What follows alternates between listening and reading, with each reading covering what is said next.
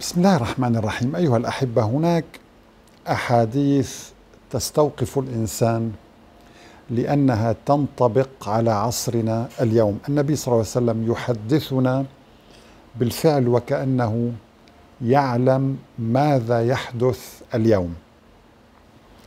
لقد سئل حبيبكم عليه الصلاة والسلام عن آية عظيمة في القرآن يقول الله تبارك وتعالى مخاطبا كل مؤمن. يا أيها الذين آمنوا عليكم أنفسكم لا يضركم من ضل إذا اهتديتم. فقال النبي عليه الصلاة والسلام بل ائتمروا بالمعروف.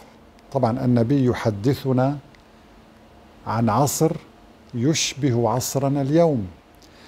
ما سنكتشفه في هذا الحديث نحن نعيشه اليوم أيها الأحبة. بل ائتمروا بالمعروف. ينبغي أن نأمر بعضنا بعضنا بعضا بالمعروف. وتناهوا عن المنكر. ينبغي أنك إذا رأيت منكرا أن تنهى عنه. حتى إذا رأيت شحا مطاعا. وهوى متبعا ودنيا مؤثرة. يعني سبحان الله تجد إنسان شحيح يطاع ذو هوى يتبع. وهذا نراه اليوم. نرى أن القدوة الحسنة أصبحت من هم؟ هل العلماء؟ هل المفكرون؟ هل العباقرة مثلا على الأقل؟ أصبح لدينا مجموعة من القدوة التي يقتدي بها معظم الشباب مجموعة بالفعل تتبع الهوى تتبع الشهوات تتبع الحياة الدنيا وزينتها. ودنيا مؤثرة أي يؤثرون الدنيا يفضلون الدنيا على الآخرة. وإعجاب كل ذي رأي برأيه.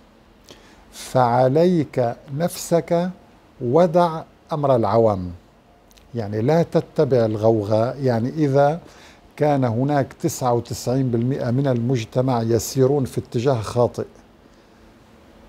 لا تسير معهم ثم تقول إن هذا هو الصواب من غير المعقول أن أكون فقط أنا على صواب وكل هؤلاء على آه، أو أنا على صواب أو أنا على حق وكل هؤلاء على خطأ أو على باطل. فالنبي يأمرنا في مثل هذه الحالات أن نتبع الحق نتبع ما أمرنا به النبي عليه الصلاة والسلام وما أمر به القرآن.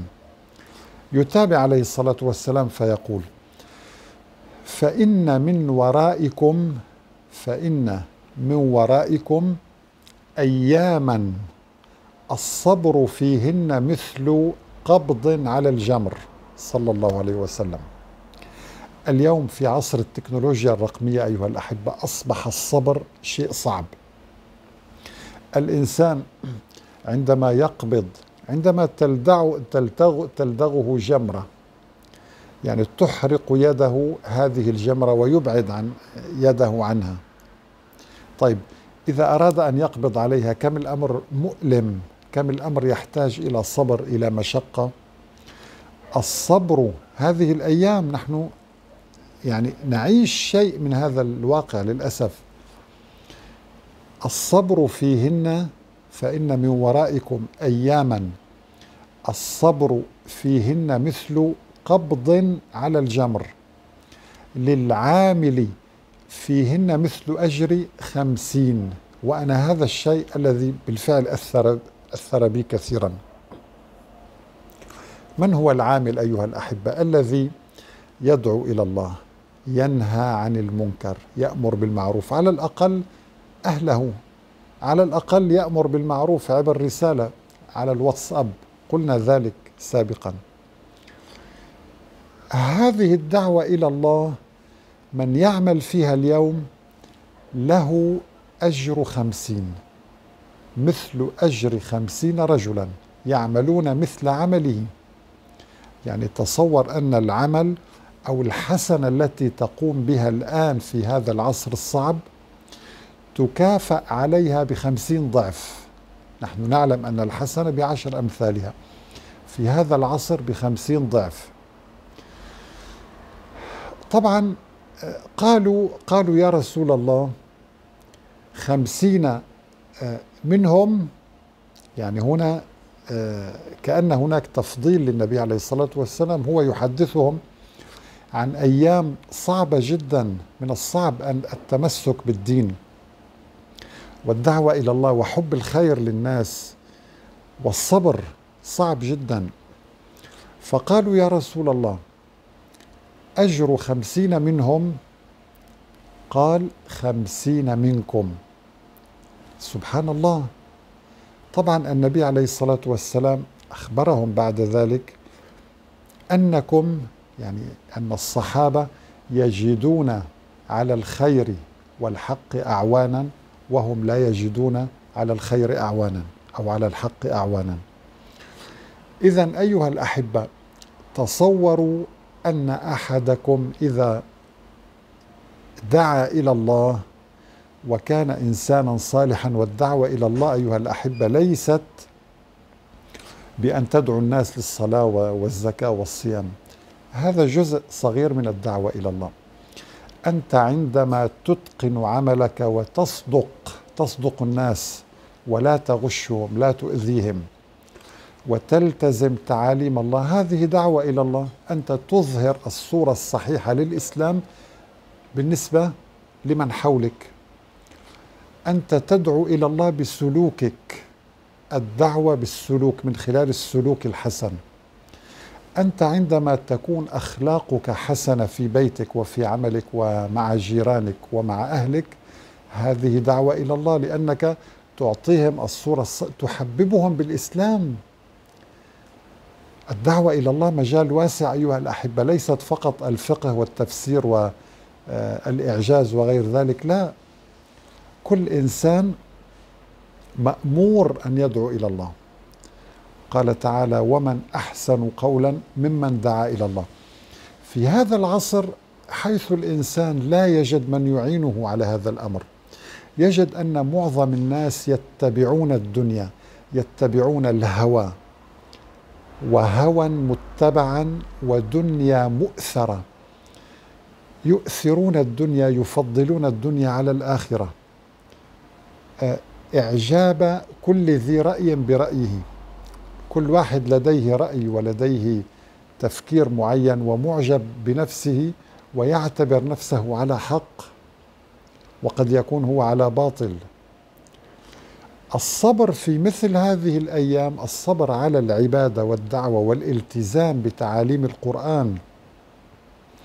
هذا الصبر له أجر خمسين من الصحابة الكرام لأنه أكد أكد ذلك عليه الصلاة والسلام قال خمسين منكم.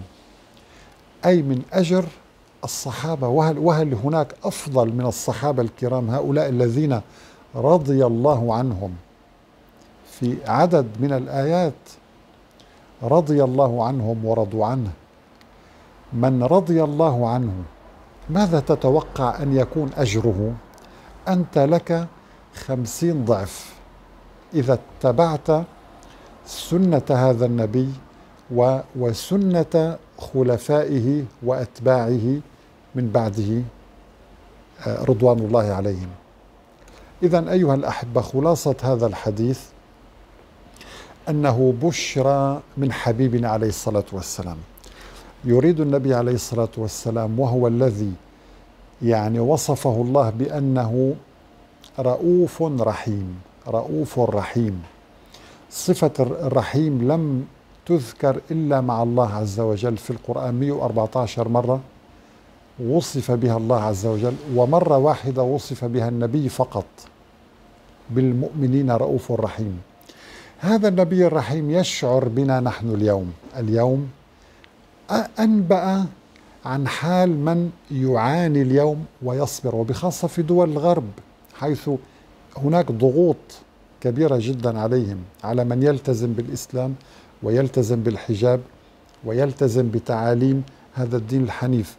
فهؤلاء النبي لم ينسهم بشرهم أن لهم أجر خمسين من من الصحابة الكرام. كم هذا النبي رحيم؟ صلى الله عليه وسلم. لذلك والله لا أجد يعني خيرا من مدح الله له ومن قول الحق تبارك وتعالى في حقه عندما قال وما أرسلناك إلا رحمة للعالمين. نسأل الله تبارك وتعالى أن يعيننا ويرزقنا الصبر ويتقبل منا هذا العمل وينفع به. وآخر دعوانا أن الحمد لله رب العالمين والسلام عليكم ورحمة الله تعالى وبركاته.